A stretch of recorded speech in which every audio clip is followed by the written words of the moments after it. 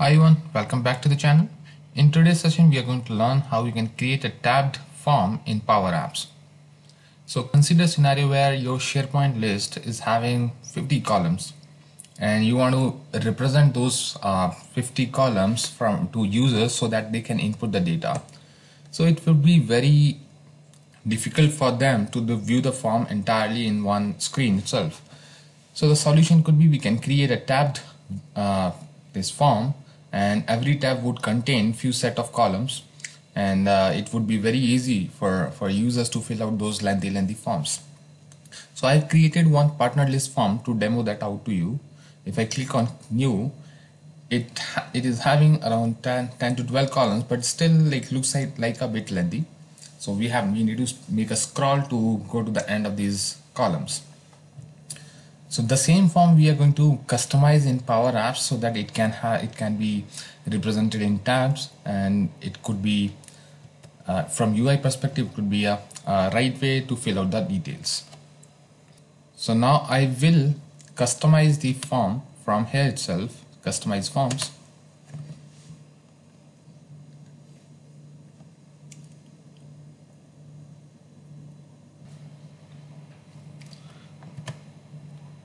now I got my form open in this power app.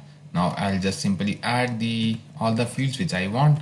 So I'll just click on add fields and keep on checking whatever fields I would like to have in this form.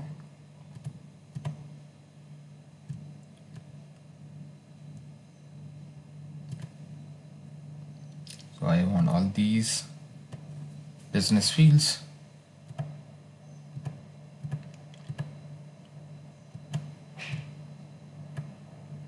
I'll just click on add.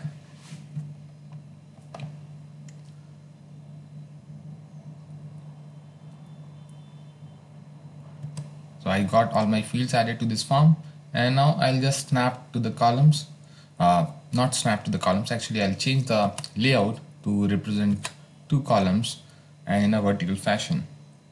So you can keep it horizontal as well to represent it more like a form. So that's how you can keep it now as I uh, said that I'll be creating tabs in this form so that we can have uh, one tab can have a couple of fields the other can have uh, other set of fields. So I'll just uh, move this form a bit down so that I can have space for having tabs and I'll just zoom it out so that I can show you that properly so now you can see I have that top space where I would be having adding header and header for this form and as well as the tabs. So I'll just go to the insert label and I'll just uh, move that label a bit top so that I can say what this form name is. I'll just say partner form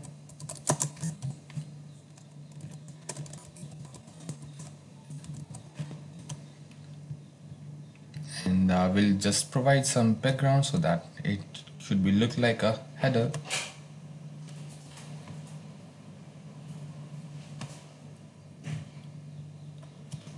And increase the font size. Alright. Font weight I'll just say bold because it's a heading. So now the other part is to create tabs so I'll add one more label which can work as a background for those tabs.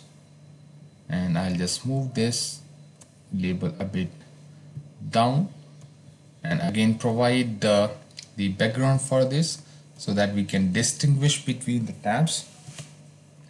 And I'll just give a light background and remove the text heading because we don't want this to have anything. This will just work as a background for my tab buttons.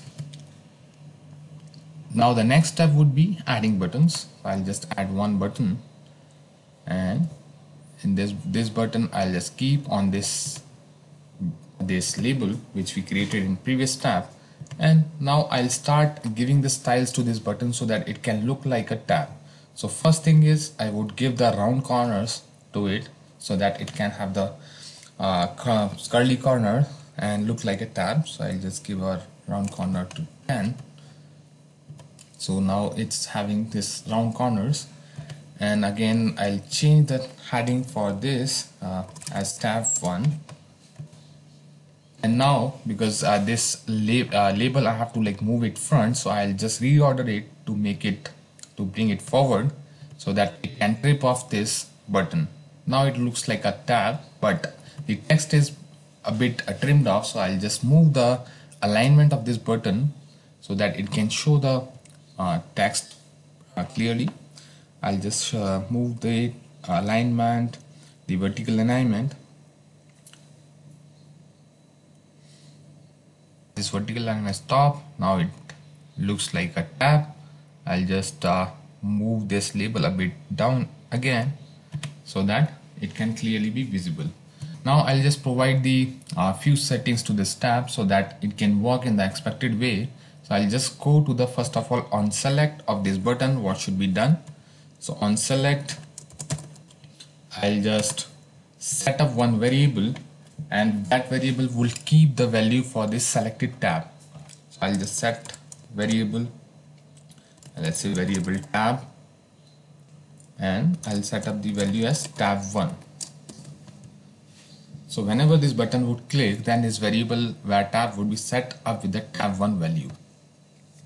And the same thing I because I want this tab to be defaultly selected so I'll just go to the this app setting. And on start I'll set up this variable again. So that whenever this uh, form would be launched then the default tab would be always tab 1 so now I'll come to the visibility setting uh, not the visibility but the display setting of this uh, this uh, button so that whenever a person is clicking this button this button should get disabled. Because if, if we are already selecting this tab then this should be grayed out and other tabs should be visible. So I'll just go to the display mode and instead of add it I'll add up one condition. If if my variable tab equal to tab 1 then it should be disabled. Otherwise it should be added. A simple condition I have added. So whenever this button would be clicked this would be disabled and other button would be enabled. And I'm just setting this up. Now we are done with this uh, this tab settings. Now I want more tabs to be in, to be involved in this uh, screen. So I'm just copying this tab because we already did this did the setting for this button. So we can just copy and paste it so that we can use this for the other tabs. So you need to just uh, be cautious with the UI of this app controls and the distancing. I'm just uh, moving the other button as well. So I'll right now I'll just do with three buttons.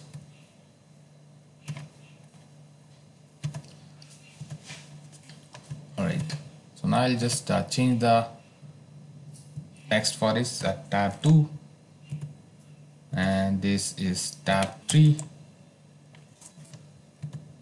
and I'll change the variable on select variable as well because whenever this tab would be clicked this should set the variable as tab 2 and whenever this tab 3 is clicked it should set the variable as tab 3 and I'll just move this control uh, the label again forward so that it can trim the text. Now I'll do the alignment for it vertical alignment as we did for the other one. Okay so it's already top because it actually got the settings from the copied tab. I'll just move them a bit.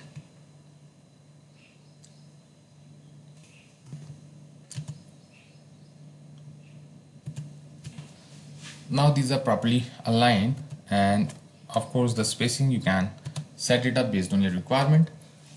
So now I'll just go to the tab 2 to set up the uh, uh, variable. So I think like we have already done that. Let's just quickly verify. So we have already done that we need to just go to the display setting display mode of it to change the formula.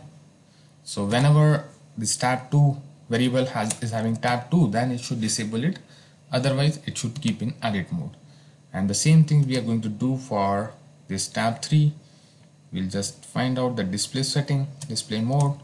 And if this tab variable is 3 then it should disable the tab 3 now comes the part where what fields we would like to belong to tab 1 so whenever a person clicks on tab 1 what field should be displayed?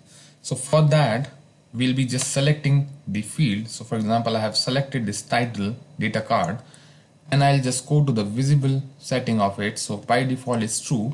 But now we are going to change that to the var tab. So that whatever var tab is returning should set to the visible visibility so in, instead of true I'll set up the condition which should return true or false. So what I'll do is I'll just use the variable tab and if it's equal to tab 1 I need to check what we have set on select. It's tab 1 without space then we should be just setting the visibility of this control to tab 1 so we just uh, did for title but uh, because uh, this title we lost it due to visibility settings so I'll just remove the spaces. So we are all done. So in this again I would like to have this var tab. If var tab equal to tab 1 then it should visible. Otherwise it should be hidden. And same thing for address. Var tab equal to tab 1 otherwise it should be hidden next set of these fields I want to be under the tab 2 so I'll just select the approve uh, approver field and I'll go to the visibility and change the visibility when var tab equal to 2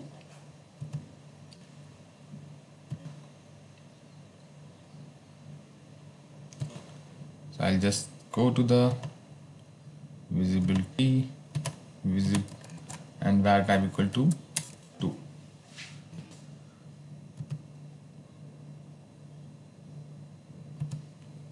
and I'll do the rest of the stuff for remaining controls as well var tab equal to visibility 2 and now this one is for tab 3 so I'll just set the visibility for the var tab 3 so that this finance related stuff should be visible under the tab 3 I'm just setting that as tab 3 this name name should be under my tab 1 so I'll set the visibility for tab 1 and point of contact. So this point of contact person uh, you can just set up the the visibility or the wrapping on this so that it's not visible. You can just go down and then wrap it off because it's having long this title caption. So you can just do that for long uh, labels as well so that it can just wrap it up. So for this point of contact I'm setting the visibility for tab 3 and the same the total cost. I'm setting again for the tab 3 trigger what is that? Trigger column trigger windows. I think like we don't need that column.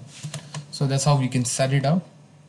And under this wrap tab why it's not hidden? Because we by mistake we set that for height but we need to do that for visibility.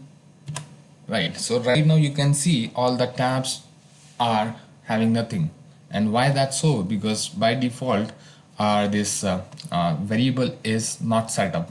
And as you as I did in in the starting session that we set it up the variable tab as tab 1 by default.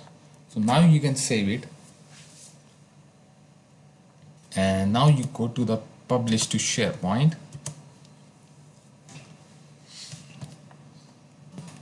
I'm just opening that list and I need to refresh the list and if I click on new it should load up that form